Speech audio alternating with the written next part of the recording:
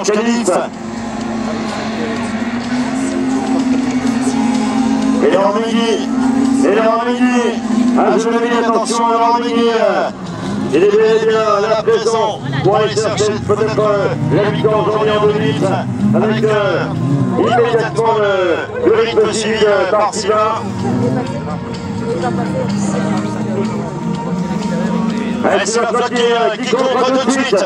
Voilà, il n'attend pas euh, que Laurent euh, eh bien, s'envole. À l'intérieur, à l'intérieur pour euh, Sylvain Flotte, à l'intérieur également pour euh, l'ensemble des pilotes. On n'est plus dans le rythme. Pour Laurent Miguel dans son esprit. euh, Là, le hot shot, et bien on se retrouve en dernière position, pour la dernière position pour l'obtenir en 94.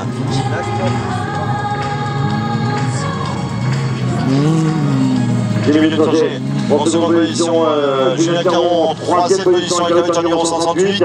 Attention, ça va coller juste derrière. avec la voiture numéro euh, 33. C'est très serré là encore. C'est très serré.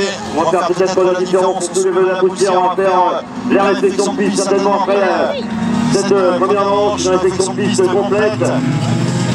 Pour accueillir ensuite la deuxième manche de qualif. On revient sur la, la tête de, de course et la course en général alors qu'on vient de, de boucler le troisième tour. Le deuxième tour, on est rentré dans le troisième tour pour les pilotes. Sylvain Flotte toujours en position de, de leader. Jimmy Travier en seconde position. Julien Caron euh, en troisième, voilà, regardez les trous des voitures, bien ça bouge, ça creuse, et Julien Caron pour l'intérieur, sur Jimmy Travier. L'intérieur sur euh, Jimmy, on prend le place au milieu pour Julien Caron et le 168, on le sent bien. Là, Julien à l'attaque sur ce circuit.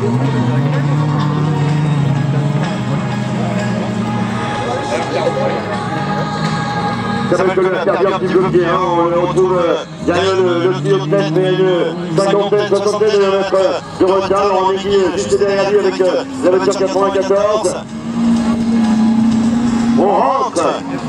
Dans le dernier tour pour les pilotes de tête. Là, Julien Gouin a quelques soucis avec la voiture numéro euh, 960. On prend la tête de course pour Julien Caron. Ça peut manquer à la sortie du 2 pour Sylvain Flotte. On a profité immédiatement de l'intérieur pour Julien Caron. Les derniers, c'est connaître pour euh, la voiture 68 peut-être aller chercher la victoire. pour, euh, ouais, pour euh, le pilote euh, du tout noir. Malgré le retour de Samuel Collet, on prend euh, tout de même la, la troisième place euh, pour Jimmy L'étranger.